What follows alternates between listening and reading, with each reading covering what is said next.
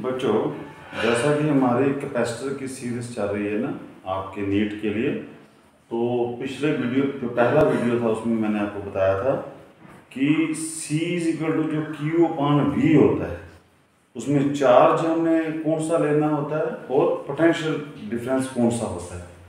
तो बच्चों, आज हम थोड़ा सा पढ़ेंगे हम नेक्स्ट इसमें कि मान लीजिए आपके पास ये एक कैपेसिटर है मान लीजिए इसके बीच में डिस्टेंस डी है दो प्लेट्स के बीच में, और अब यहाँ पर वो पूछता है कि ये जो एक प्लेट है, ये वी विलासी से मूव कर रही है।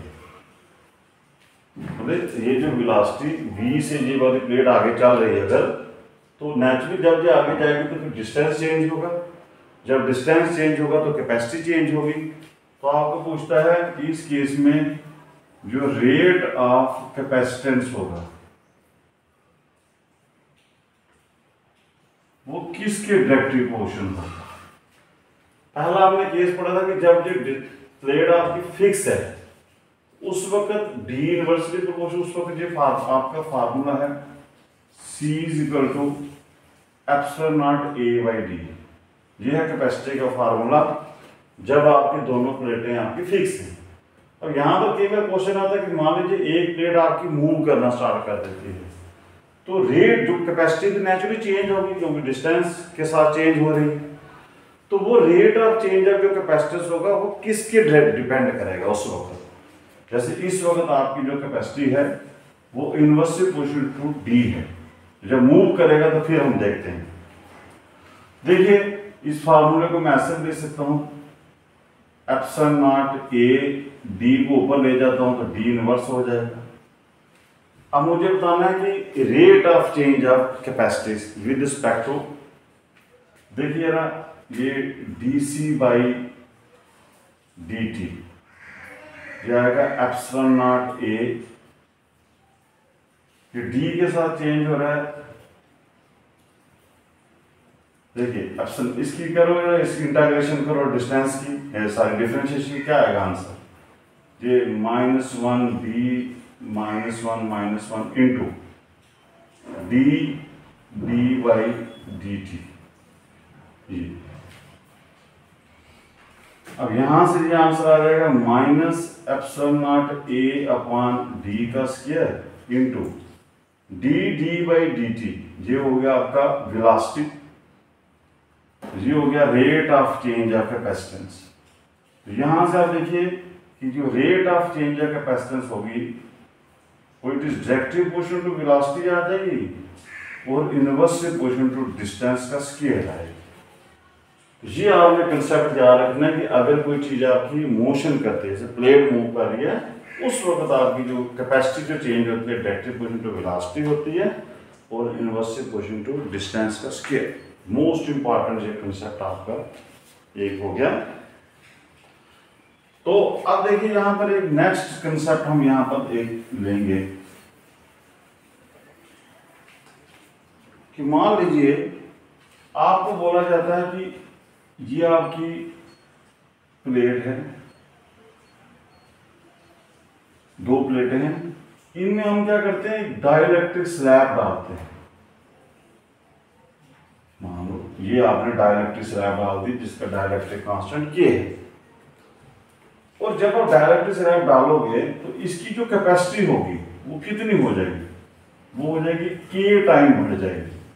K into epsilon naught A by D हो जाएगी। जब भी हम कोई डायलैक्ट्रिक स्लैब कैपेसिटर की प्लेटों में डालेंगे तो जो कैपेसिटी होती है वो के टाइम जितना उसका डायलैक्ट्रिक कांस्टेंट होगा, उतने टाइम्स बढ़ जाती है। ये तो केस आ गया जब आपकी डायलैक्ट्रिक स्लैब पूरी फील हो जाए कैपेसिटर के अंदर पूरी फील हो जाए लेकिन मान लीजिए कई बार आपको क्वेश्चन ऐसे परेशान करते हैं कि वो बोलता है कि ये आपका दो कैपेसिटर की प्लेटें हैं, इनके बीच में डिस्टेंस जी है। और आपको बोलता है कि यहाँ पर एक हमने जो डायलैक्ट्रिक स्लैब डाला, उसकी थिकनेस है टी मतलब उसकी मोटाई टी है। तो अब बताओ कितनी कैपेसिटी होगी। अब यहाँ पर, अब इसका डायरेक्टिव कांस्टेंट आपका मान लो के ही है। लेकिन अब यहाँ पर जो डायलेक्ट्रिक स्लैब है, इसने पूरी स्पेस नहीं फिल की। थोड़ी सी स्पेस यहाँ पर बच गई है। उस उस केस में हम कैसे करेंगे? ये आपको लॉजिक समझना है। मान लीजिए आप इसका इक्वलेंट सर्कल बनाइए। जैसे ये प्लेट है, ये दूसरी प्लेट है। आप क्या कीजिए, इस डायलेक्ट्रिक स्लैब को बिल्कुल एंड में ले जाओ। जैसे ये मैं यहाँ पर इसके साथ जोड़ देता हूँ। ये। तो ये आ गया आपका डायलेक्ट्रिक स्लैब अब देखो, ये डायरेक्ट स्लैब जब यहाँ चलेगी तो ये वाली इतनी जगह आ गई आपकी टी ने घेर ली। ये जो टी आ गया, जितनी इसकी थिकनेस थी, उतनी इस जगह ने घेर लिया। और ये जो पीछे वाली जगह बची, ये वाली स्पेस ये होगी आपकी डी माइनस टी जो डी टोटल डिस्टेंस में से डायलेक्ट्रिक का डिस्टेंस निकाल दो तो ये बच गया अब ये जो है, ये तो यहाँ पर एयर है। और एयर का डायलेक्ट्रिक कांस्टेंट जो है, वो वन होता है। और इस स्लैब का डायलेक्ट्रिक कांस्टेंट जो है, वो के है। तो इस केस में अगर आपको बोला जाए कि कैपेसिटी कितनी होगी तो आपने यही फार्मूला लगाना है epsilon naught A upon epsilon naught A upon क्या करना है? जैसे आप देखो, पहली ये जो चीज़ है इसका मतलब ये देखो डिस्टेंस कितना है। इतनी सी, इतने, इतनी के, जो, ये दो कैपेसिटर बन गया आपके सही में। इतने कैपेसिटर का डिस्टेंस कितना बच गया? D minus T distance divided by इसका डायरेक्ट्रिक कांस्टेंट वो वन हो गया। आगे, इसका डिस्टेंस कितना है पी और इसका डायरेक्ट्रिक कांस्टेंट कितना है के ये बन गया आपका सिंपल एक फार्मूला बच्चों आप इसको अप्लाई कर सकते हो जैसे देखो कई बार आपको ऐसे पूछेगा कि ये आपकी एक प्लेट है जिसका डायरेक्ट्रिक कांस्टेंट के है थिकनेस टी दूसरी प्लेट है जिसका dielectric constant K two thickness T two तीसरी है जिसका dielectric constant K three thickness T two अब देखो यहाँ पर अलग अलग किस्म के डायलेक्ट्रिक दे देगा आपको के वन के टू के थ्री उनका डिस्टेंस पूरा कैपेसिटर में भर देगा तो आपने कंसेप्ट यही याद रखना। कंसेप्ट यही है C equal to epsilon naught A upon सबसे पहला देखिए, इसकी थिकनेस कितनी है? पी वन डिवाइडेड बाय इसका डायलेक्ट्रिक कांस्टेंट इसका कितना है?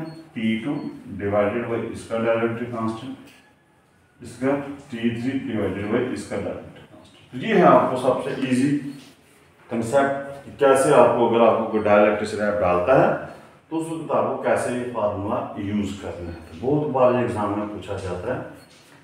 तो एक और आज हम ट्रिक कर लेते हैं। होप्स आपको जो समझ आ चुका होगा। प्रैक्टिस कीजिए न्यूमेरिकल्स की तो आपको सारा क्लियर हो जाएगा।